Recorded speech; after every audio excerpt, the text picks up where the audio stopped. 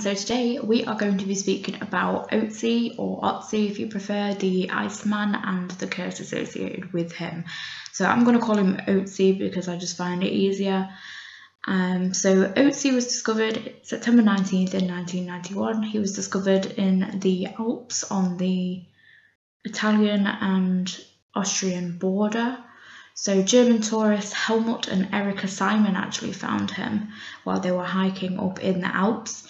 He likely died between 3105 and 3239 BCE.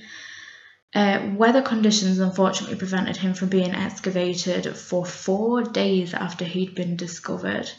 So this led to a battle between Austria and Italy once he had been excavated as to who had custody of his remains. So there was question as to whether Otzi was murdered. Um, they thought they saw blunt force trauma on his uh, remains, on his head, and there was question as to whether maybe an arrow had punctured an artery. Rainer Henn, she put his body in a body bag so in 1992, Rainer was travelling to a speech about Otzi, was travelling to give a speech about him, and unfortunately, she died in a fatal car accident. Kurt Fritz, he organised the transport of Otzi's remains, and in 1993, he died at age 52 from an avalanche. Now, this doesn't sound too unusual because it's the Alps. However, he was an experienced tour guide, so he had extra training on how to deal with avalanches and what to do in that situation. So it's a bit unusual that he died that way, but also what's really strange is that he was the only one who died. Nobody else died in the avalanche. So Helmut Simon, the man who actually discovered Otzi, he went missing in the Alps in 2004. So he was found eight days later and he had fallen 300 feet to his death. So when Helmut was missing, Dieter Warneck had led the search party.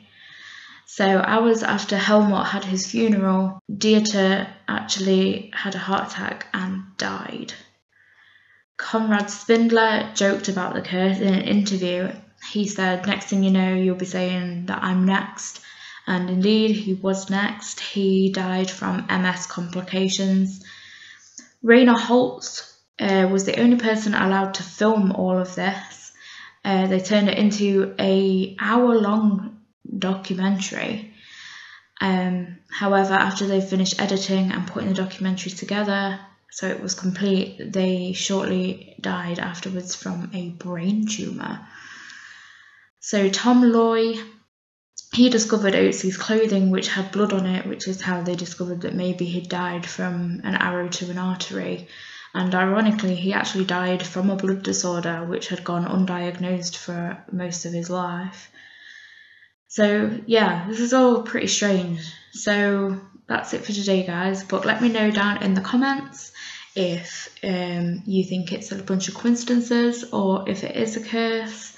I mean, it's pretty strange that it's such a cluster. Let me know down in the comments and give me a thumbs up if you liked it and you want to see more curses, and I will see you next time.